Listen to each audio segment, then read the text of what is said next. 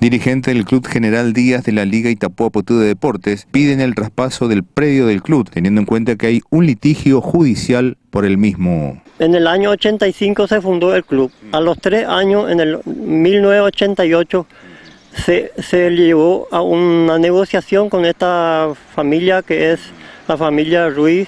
Y éramos todos amigos, éramos todos vecinos y se, llegó a, negociar por 600 mil en, aquel entonces. En aquel entonces. que eh, estaríamos más o menos sacando el cálculo de 60 millones en, este momento.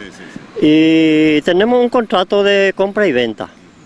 Y se llegó a un, acuerdo, se, se pagó todo y en el momento que queríamos titular, el, predio estaba hipotecado en el Banco Nacional de Fomento. Por, tal motivo no pudimos este, acceder al título, así como dice en el contrato de compra y venta que tenemos acá que podemos demostrar de, lo que estamos hablando.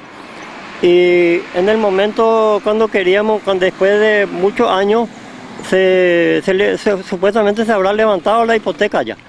Y queríamos la titulación al nombre del club para poder, para poder solicitar algunos aportes, hacerle algunas mejoras dentro del, predio.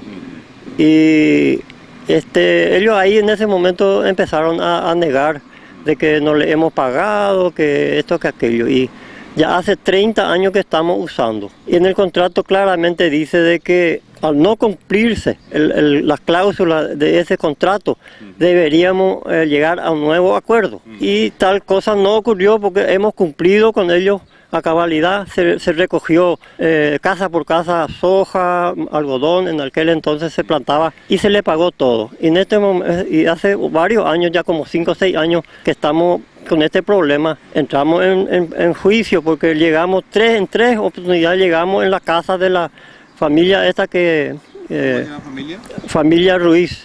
Ruiz y Cabaña.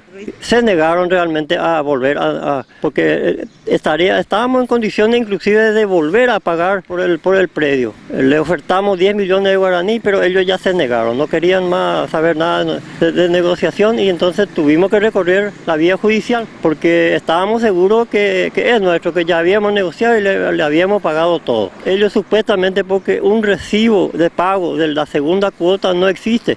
Entonces ellos niegan de que no se le pagó todo, que esto, que aquello.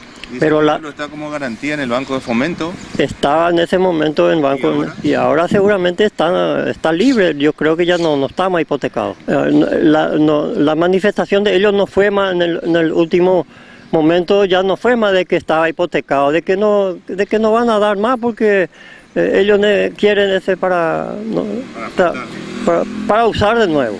Los dirigentes del actual club piden una renegociación, teniendo en cuenta que los mismos ya pagaron y piden el título, de lo cual los supuestos propietarios no quieren entrar en razón y piden renegociar para no perder el predio por el bien del fútbol, de los jóvenes, adultos y niños de este club.